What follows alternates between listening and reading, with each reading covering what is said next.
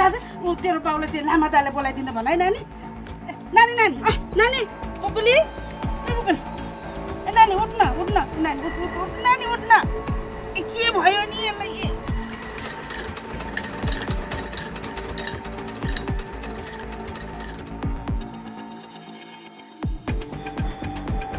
के भन्छ हो के भएछ? होइन नानीलाई क्या भयो आमै? खोइ के भयो के बोलाउन हेर्छु नि त मामा भयो यसलाई त डुलो लागेको छ हो र के गर्नुपर्छ लु पानी ल्याइदिनु त गिलासमा पानी ए टोले आइज आइज यहाँसम्म नानीलाई यहाँ, ल ल। ल,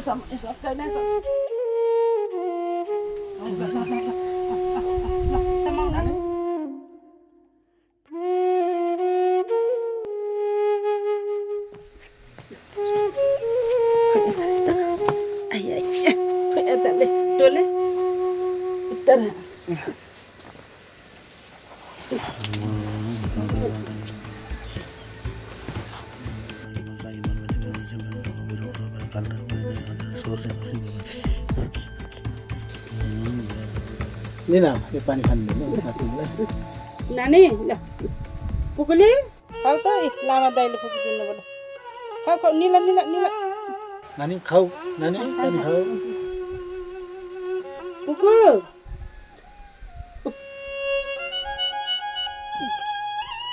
नानी नानी उठ। ए आमा मैले जडीबुटी पनि ल्याइदिएको छु ए ए। ठिकसँग खुवाइदिनु ठिक हुन्छ नानी। ल ल ल। कतिचोटि खुवाउनु? अहिले बिहान एकचोटि बेलुका एकचोटि ए ल। बेलुका आउनु है लामा बाबु। हुन्छ आमा। ल ल आउनु है लामा बाबु। हस् नानी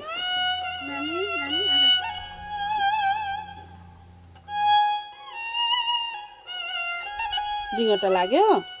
आमा है। खासमा के भएको नानीलाई? सुनिहाल्यौ त डुलुवा लागेको रे।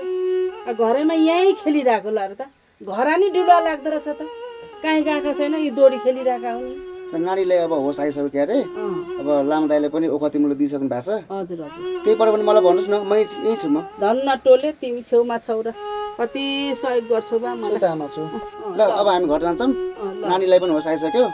है त? अहिले चाहिँ म जान्छु है त आमा? ल नानी आराम गर है बा। ल हामी जान्छौँ है त? छोड जाउँ घर आइज। आइज जाउँ घर।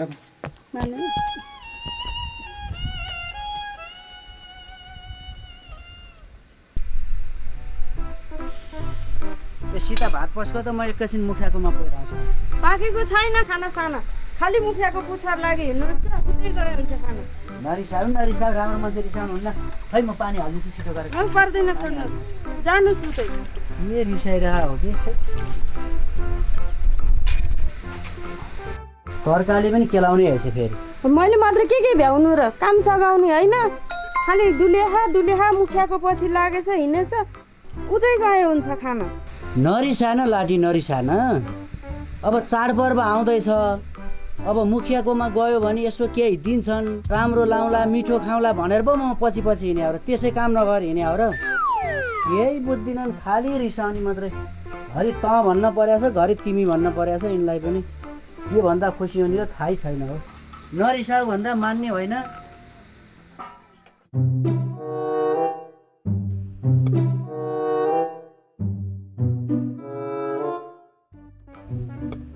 मुखिनी ए मुखिनी ए मुखिनी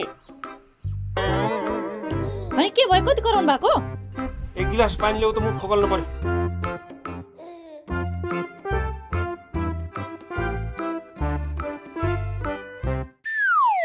मान्छे राम्रो भयो के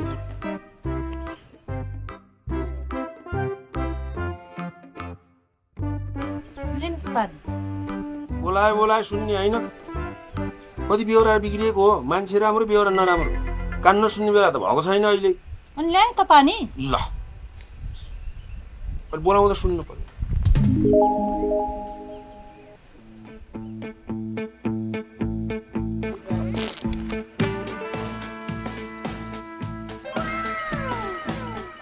हिजो मासको दाल खाइएछ क्या मुखिया साहब खान्छ मासको दाल मुखियाले मासको दाल खान्छ खैजडी लोन्ठ्याङ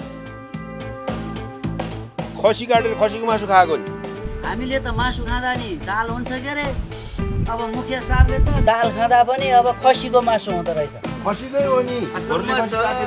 नमस्कार है नमस्कार। नमस्कार नमस्कार। यति बेला अब आउने। अब कति ठाउँ जानुपर्ने थियो बिहान? त नभएर म एक्लै जाने कुरो भएन। पर एकदम पर्खिँदा पर्खिँदा पर्खिँदा आउला छैन अहिले आउला छैन। कहाँ गयो कहाँ हराएको? आएँ त अब आइरहेको time to time time to time ठुलाबडा मान्छेको टाइम फिक्स हुन्छ भन्ने थाहा छैन? थाहा छ अब सरी त भने त। सरी भनेर भएन उहाँ नोक्सान हुनेलाई भइसक्यो लोनठ्याङ। ए पुगली यता आइज। हजुर मुखिनी आमा किन बोलाउनु भएको तेरो बजे खै मुखिने आमाले बोलाएको छ भन्दै।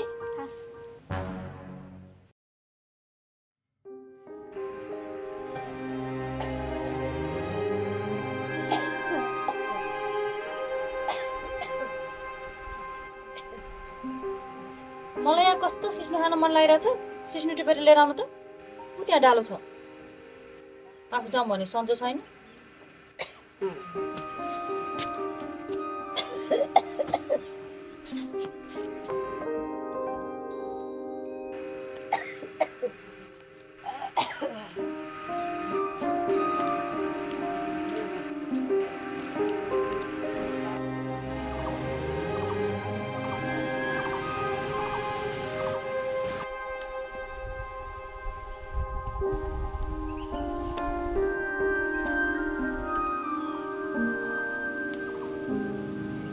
दिदी नमस्ते।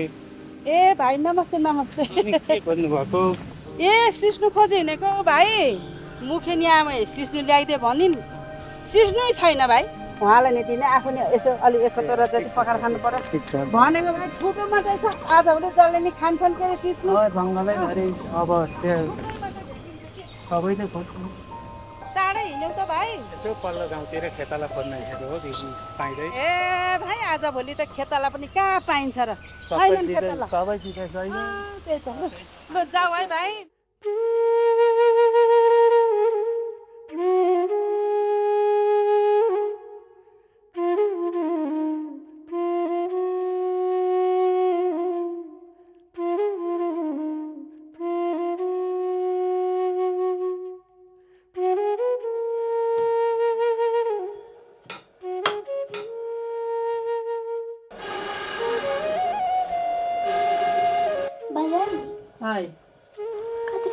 भाग्छ ए अब पाकिहाल्छ नानी भोक लाग्यो?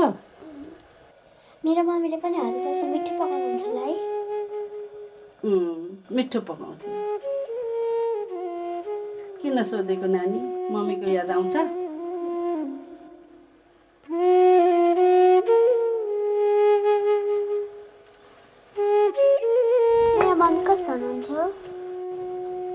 तिमी जस्तै थियो तिम्रो मम्मी। राम्री हुनुहुन्थ्यो। अनि बाबा बाबा म जस्तै थियो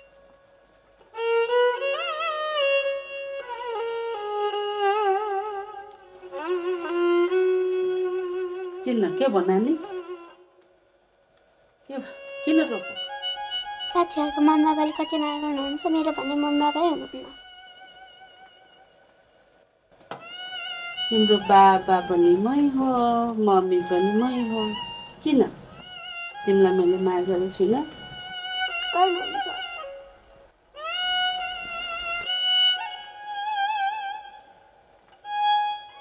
तिमी रोको? तिमी अघि मम्मी बाबाको फोटो हेरिरहेको थियो तिमीलाई धेरै याद आयो। ल यता मलाई त्यसरी रोयो भने भोलिदेखि म फोटै लुकाइदिन्छु।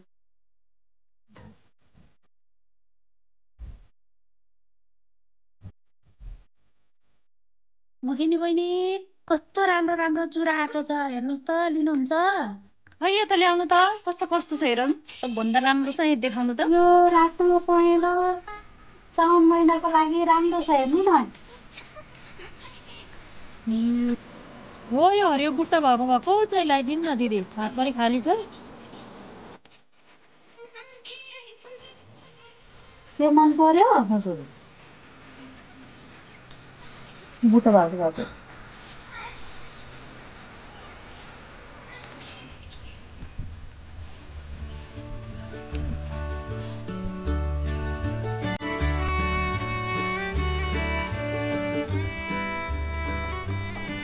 बाजै मलाई कस्तो हरिया चुरा लाउनु मन लाग्यो कहाँ छ उता मुखिनी आमाको घरमा मुखिनी आमा ल्याएको छ अब मसँग पैसा छैन नानी लु हिँड्नु त म आउँछु मुखिनी आमासँग यसो भनिदिन्छु है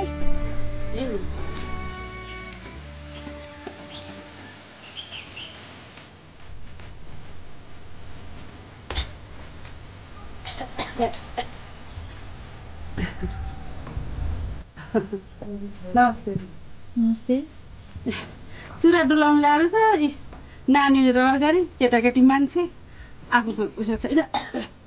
म हजुरको काम गरेर तिर्दिनँ नानीले चुरा लगाइदिनु भन्न मसँग पनि पैसा छैन। मुखिया बा पनि घर हुनुहुन्न। मेरो पोहोरको छ त्यही लाऊ है पुगुली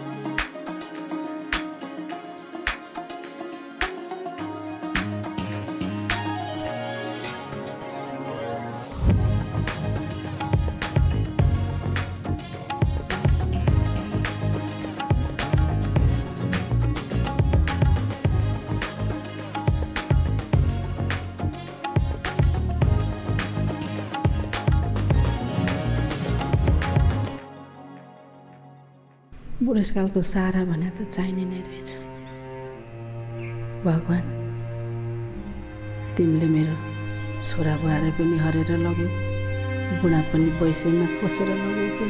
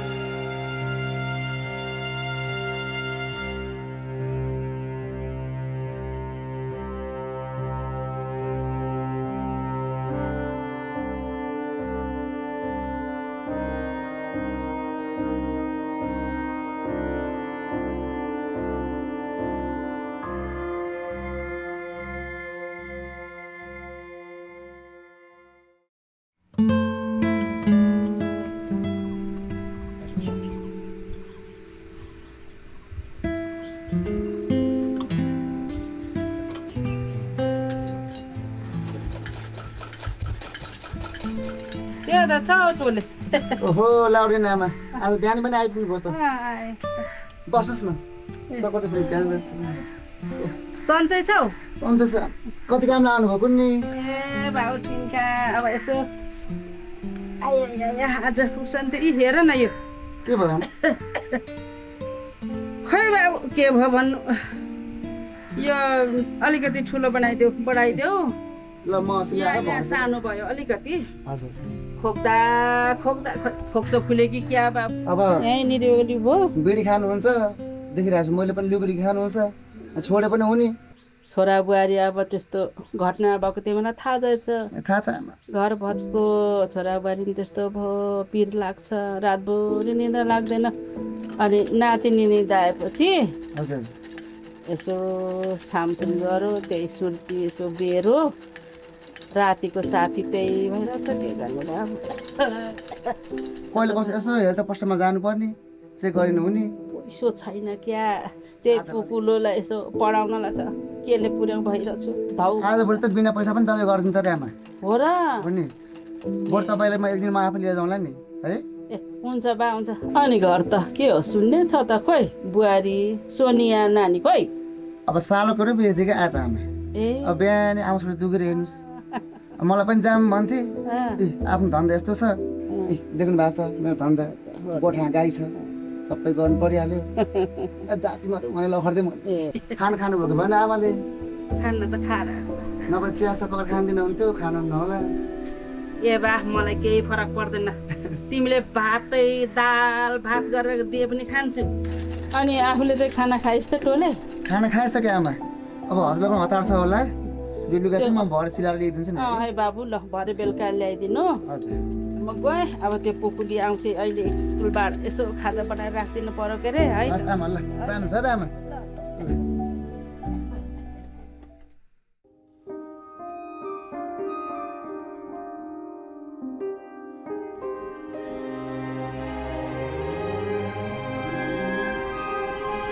आमा आमा हौ,